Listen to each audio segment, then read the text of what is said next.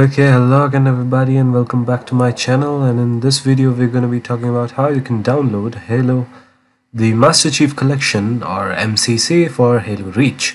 So as you may or may not know, Halo Reach is uh, has recently been released for PC platforms. And uh, so yeah, here is a repack uh, for you to try if you are not sure that your system can run it or if you just want to try the game for yourself and yeah here is how you can download it. This link will be in the description. It's a uh, fitgirl repack site link and it'll be in the description. So all you need to do is head on over to this website tap on this and the size is 4.5 GB which is selective download. Uh, so I'll be telling you how you can remove certain things so you can just download what you want.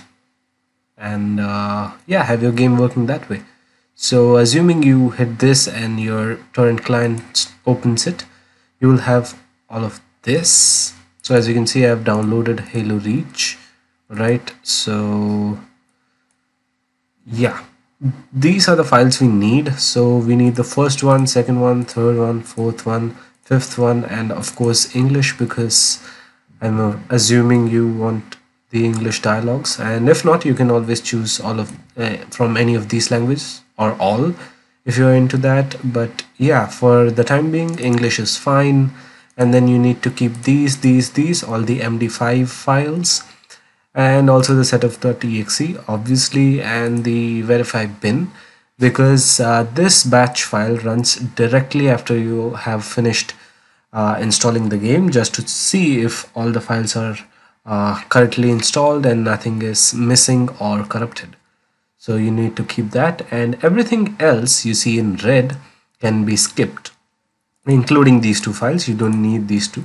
So everything else can be skipped. These cannot be skipped. You need at least one language. So you have to have either English or any of these languages whichever you prefer. And yeah just let it download. And I hope I can show you. I still have it hold on one second. Let me just open my explorer. Okay.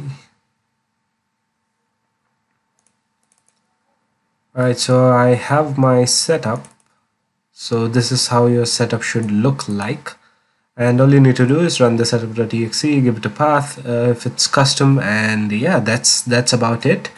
And one little uh, suggestion I'd like to give you it'll create a desktop icon for you and that is what you should be using to launch your game. And in case you manage to delete that desktop icon uh, just head on over to your uh, file folder where you install the game. And this is what you want to run from. Uh, do not go into this and just copy anything. Just don't do it. It's not a good idea. Just run from here. And for uh, some reason my antivirus as you can see here McAfee it just uh, flagged this as virus and just quarantined it. Uh, I just uh, added this to exclusion list. So uh, yeah if you have McAfee just I just suggest to do that.